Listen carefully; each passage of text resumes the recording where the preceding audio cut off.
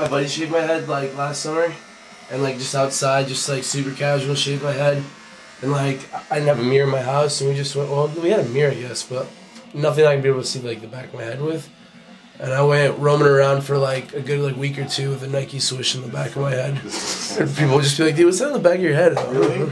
Yeah, it's a big fat like this big Nike swoosh. This side's kind of got some weird shit. Talk about advertisement. That's really funny.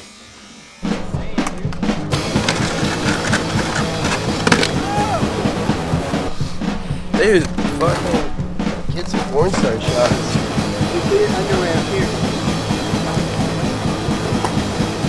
That's enough.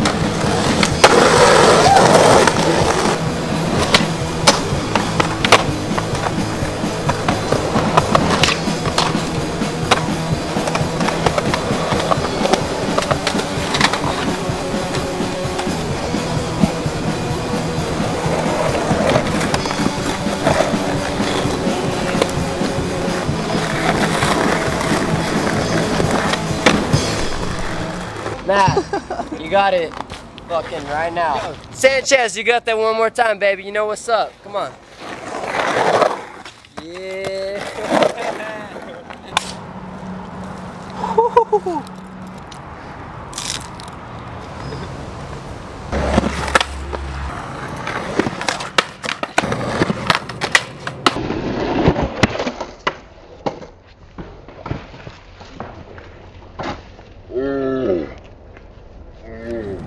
Yo, dude, so we're here with uh, Jim Greco, and uh, Duncan was claiming on this seven stair rail, like, took Rex, you know? He was like, I got board slide on it.